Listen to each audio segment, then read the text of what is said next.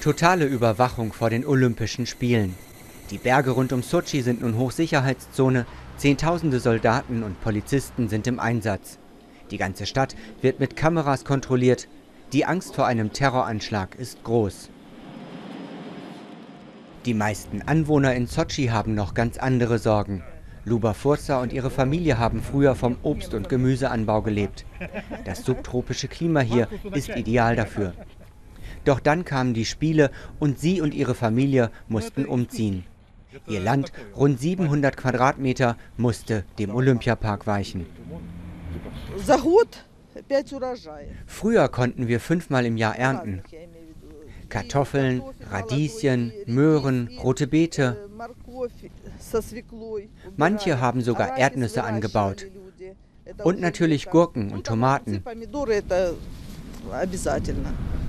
Nichts ist in Sochi mehr wie früher. Überall wird gebaut, seit die Stadt zwischen Schwarzem Meer und Kaukasus zur Olympiastätte gekürt wurde. Dabei gehört die Region zum Weltnaturerbe der UNESCO. Die Umweltaktivistin Olga Naskowitz beobachtet seit Jahren, wie einst geschützte Bäume einfach abgeholzt wurden, zu Hunderten, immer wieder. In die Berge des Kaukasus wurde ein Steinbruch geschlagen, alles für Olympia. Und überall seien illegale Müllhalden entstanden, in die hochgiftiger Bauschutt abgeladen werde. Auch hier im Steinbruch. Die größte Gefahr steht uns noch bevor. Das Felsgestein hier ist wie ein Schwamm und alles, was hier im Steinbruch landet, gelangt mit dem Grundwasser in den Gebirgsfluss Msimta, der da unten fließt und der die Stadt mit Trinkwasser versorgt. Früher war das absolut sauber. Inzwischen ist es leider stark verschmutzt.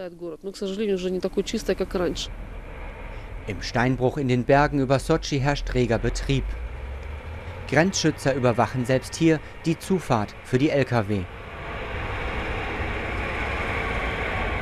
Wie groß die Terrorgefahr ist, das haben die jüngsten Anschläge in Wolgograd gezeigt.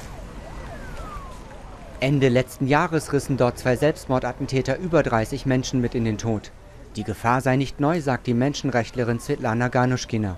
Immer wieder hat es in Russland solche Anschläge gegeben. Und immer wieder vermuten Behörden islamistische Rebellen aus dem Nordkaukasus dahinter und gehen hart gegen sie vor. Doch das schüre nur neue Gewalt. Die verschärften Kontrollen sieht die Menschenrechtlerin kritisch. Die Terroristen beeindruckt das alles nicht. Sie haben genug Geld, um jeden beliebigen Polizisten zu kaufen, wie wir wissen. Die sind doch von Kopf bis Fuß korrupt. Und außerdem können sie sich auch saubere Papiere besorgen. Auch dafür haben sie das nötige Geld. Die Bewohner von Sochi hatten anfangs noch gehofft, mit den Olympischen Spielen käme für sie ein besseres Leben. Neue Straßen, ein Gasanschluss und eine Wasserleitung für jedes Haus. Doch nun sind selbst ihre Brunnen ausgetrocknet. Tankwagen bringen einmal die Woche Wasser zum Waschen, Kochen und Trinken zu Ilya Samesin und seiner Familie in das 150 Seelendorf in den Bergen. Die schwere Bautechnik hat das Karstgestein hier zusammengequetscht. Der Boden ist bei uns wie ein Schwamm, der Wasser speichert. Und da sind sie ständig mit ihrem schweren Gerät drüber gefahren. Und das Wasser ist verschwunden. Am Gebirgsfluss Msimta ragen nun Hotels für Sportler und Fans empor. Für Seilbahnen, Skipisten und Loipen wurden Schneisen in unberührte Wälder geschlagen. Umweltschutzbedenken lassen die Olympiaorganisatoren nicht gelten. Das Fantastische ist doch, dass hier vor nur vier Jahren noch nichts war. Und jetzt gibt es diese wunderbaren Pisten und Anlagen in diesen herrlichen Bergen. Das ist mit vorherigen Winterspielen überhaupt nicht zu vergleichen.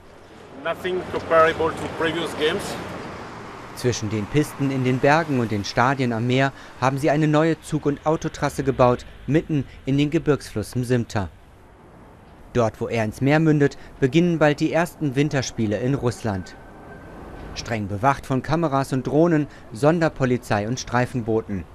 Eine Art Sperrgebiet da, wo früher hunderte Familien vom Gemüseanbau lebten, so wie Luba Fursa.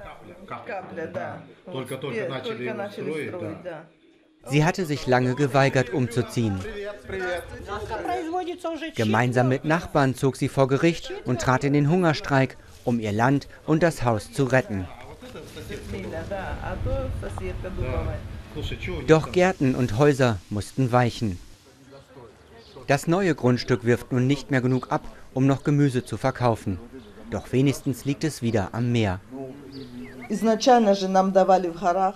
am Anfang wollten sie uns sogar in die Berge umsiedeln. Damit waren wir nicht einverstanden. Das ist doch unerhört, vom Meer einfach in die Berge umziehen zu müssen. Luba Fursa hat jetzt drei Zimmer an Bauarbeiter vermietet. Davon kann sie leben. Vorerst. Aber sie bezweifelt, dass auch nach den Spielen noch Gäste kommen werden. Viele wird wohl die Angst vor Terroranschlägen aus dem nahen Nordkaukasus abschrecken.